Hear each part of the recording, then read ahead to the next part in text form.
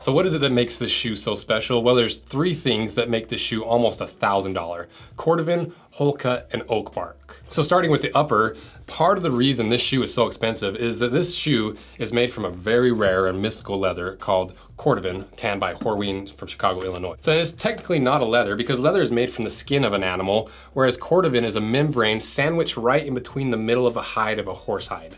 And the only place on the entire horse that this type of leather comes from is the hindquarters, also known as the butt. So why would somebody want shell cordovan and what are these mystical properties?